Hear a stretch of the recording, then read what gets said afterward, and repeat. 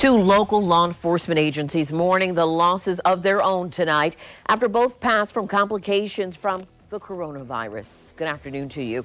Neptune Beach Police Officer Eddie Bounds and St. Johns County Sheriff's Deputy Jody Hull both passed away today.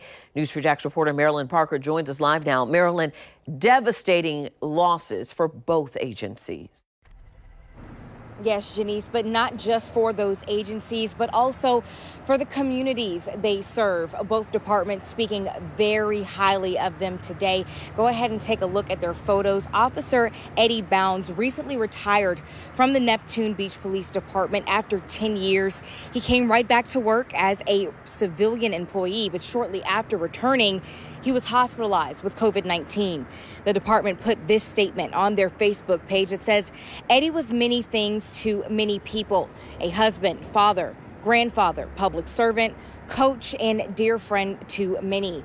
He was also the epitome of a Beaches police officer, a legend, a true legacy left behind.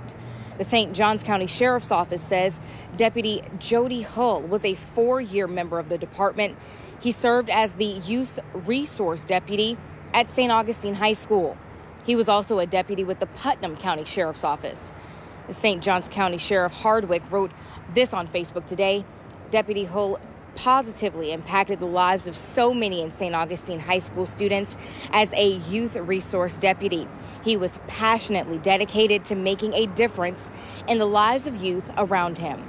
Now, both departments say that this is a tremendous loss again for their agencies and this community. They ask that you keep their families in your prayers. Coming up tonight on News4JAX at 11, we talk about the toll this takes on these agencies as they continue to serve our communities during this pandemic. We're live in Jacksonville tonight. Marilyn Parker, Channel 4, the local station.